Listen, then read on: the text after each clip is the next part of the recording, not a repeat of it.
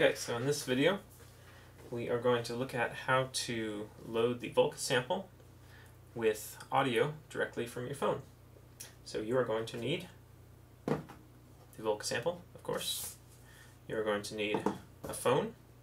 Uh, the phone must have a physical headphone jack built in, and if it doesn't, then you'll need the adapter to give it one.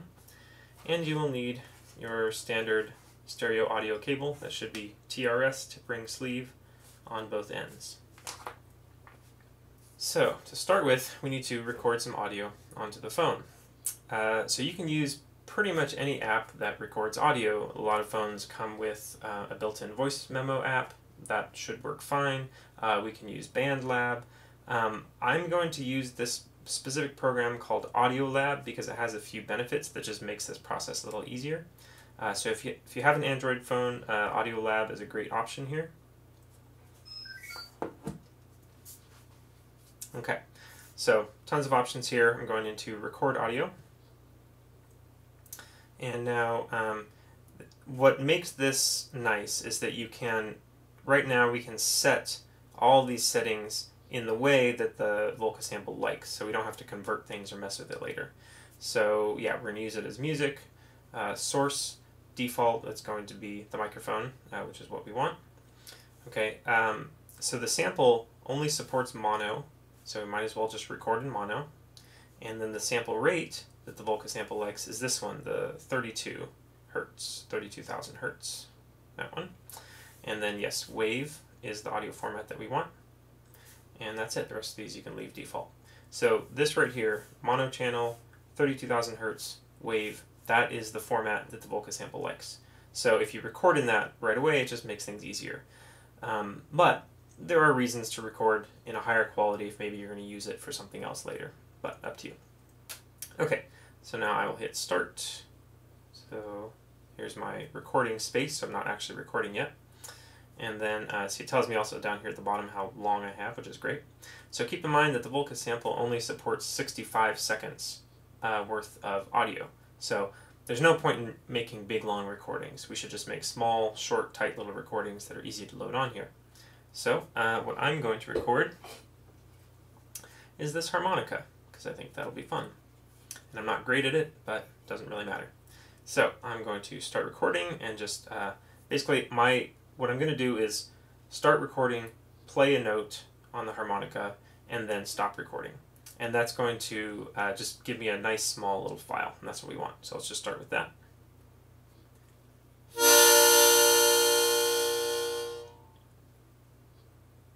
There we go. And then you see the scissors here. We can cut the file. So there we go. So there's my recording. So you can do stuff here like trim, uh, you know, trim the silence part of it, all that, um, which is definitely helpful. So I'm just dragging this back and forth to get rid of some of the silence at the end. And similarly, this one here at the top, you can kind of change your start point. There you go. So that's known as trimming your sample, and definitely it, uh, it's going to help because we don't want to waste space with empty sound, right? There's such limited space on here. We want our, our samples to be just the sound we care about without a lot of silence around it. So I get my points where I want them, and I hit trim. There we go. Now we have just that little file. You can also do stuff like, um, you know, fade it in and out if you want to. Uh, you can add a section of silence in the middle. You know, there's all kinds of things you can do, but we don't need to do that here. So that's all I wanted to do. Now hit save.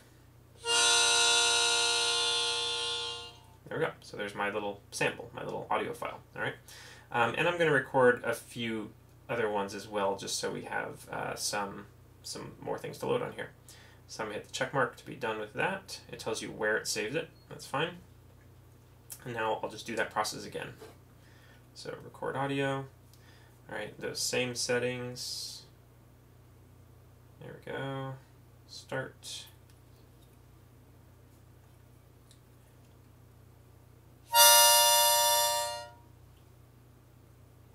Okay. Let's go in. Oops. It's my screen recording program here. Let's go in and trim that. Same process. Get my start point end point and trim, save.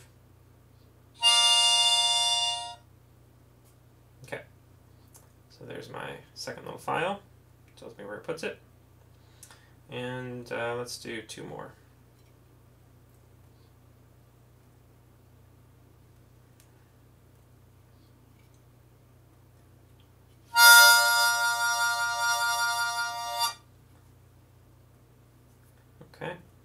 Nice vibrato in that one.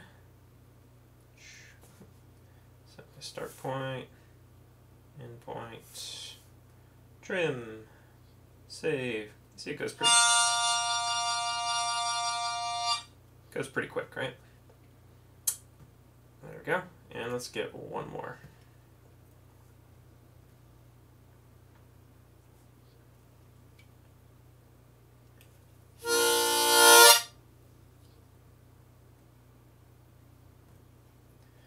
And same steps again.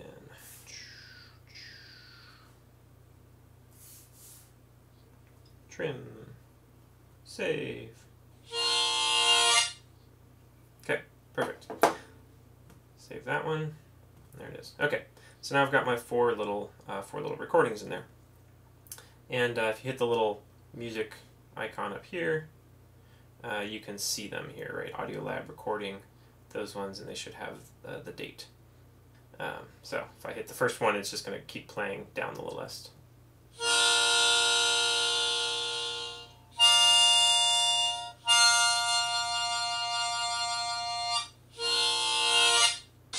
Okay, so there's my four sounds. Okay, uh, so now I can exit out of Audio Lab. Don't need it anymore. And now we're going to open up Caustic Editor. All right, Caustic, I'm going to turn it this way now.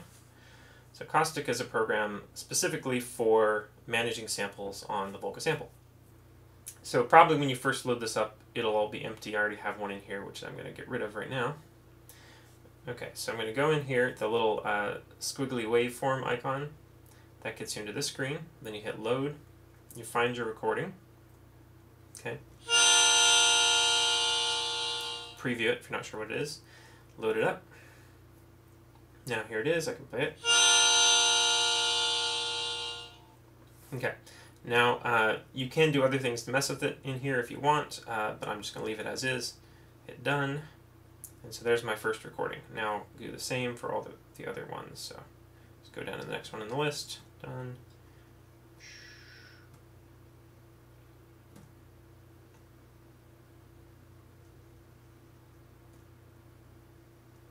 Okay, so now I have my four samples here. They're loaded into slots 0 through 3. Right?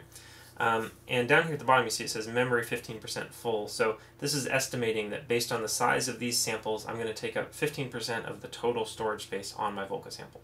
All right. So keep that in mind. Audio recordings, they take up quite a bit of space. You're not going to be able to, you're probably not going to be able to fill up all 99 slots if you're doing recordings like this. You, you'll probably only fill up, you know, maybe 10 or something, and that's fine. Okay.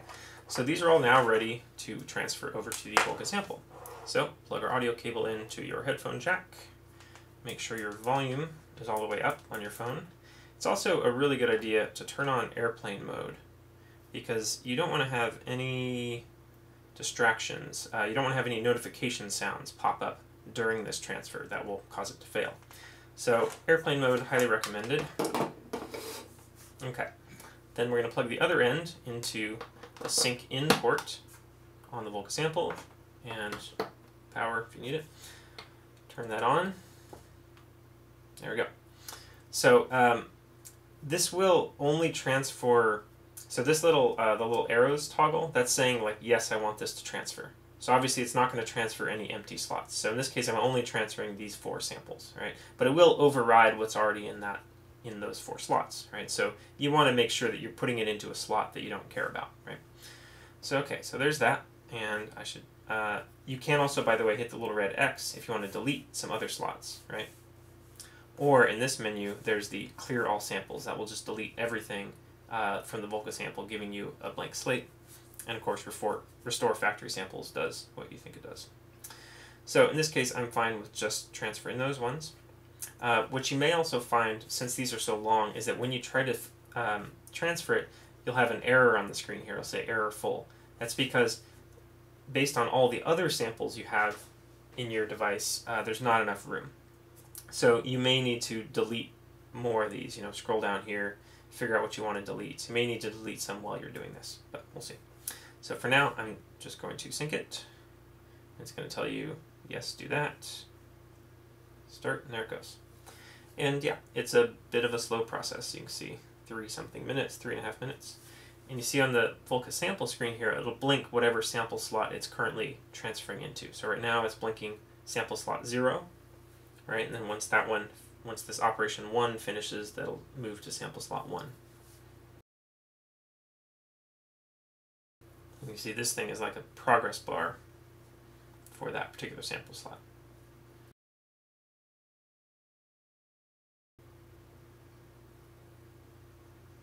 And okay, see now it's saying error full, even though I've only uh, done two of them.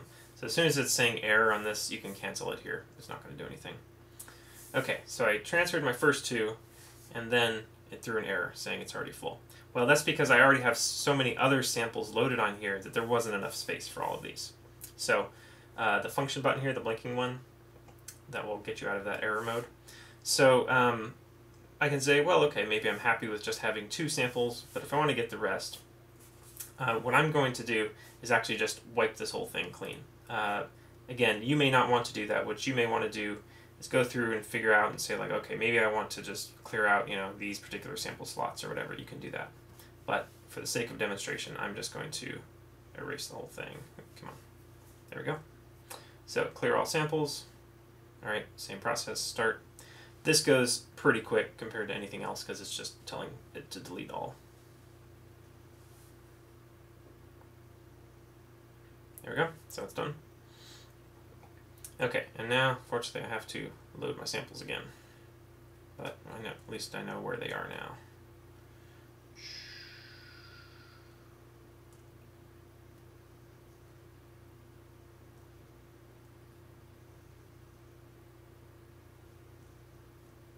Okay, so there's my four samples, and we should be ready to go. This should be totally blank now, so I should have all the space I need.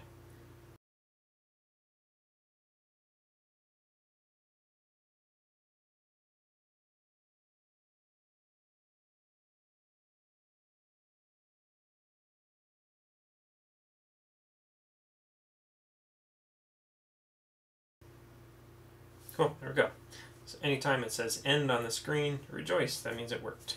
Press the blinking button to get you back into regular mode. Another little thing here, if I immediately tr start trying to mess with it, uh, like if I hit the sequencer, it won't play. That's because anytime you have something plugged into the sync in port and there's not an actual sync signal present, the sync sequencer just refuses to play. So just unplug this. All right. I can also uh,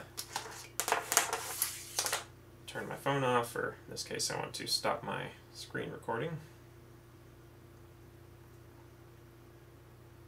Stop. Great.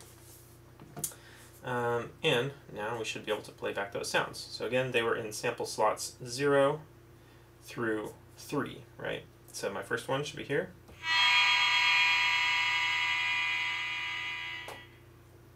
And then, so I'll say my second one set that to that one. Make sure your start point and your length are set to their default values. Start point should be 0, length should be 127. Hmm, still not hearing it.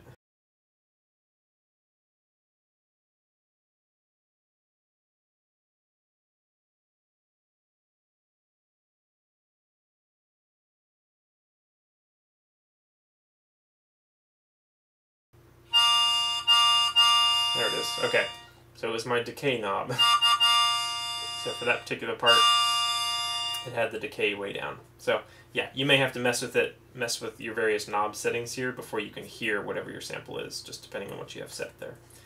Okay, so now for my third part, I want that to be slot sample slot 2.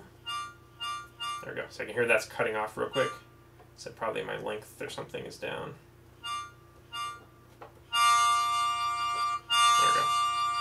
So for me, it's it's been this decay knob each time. There we go. Oh, that loop is on there.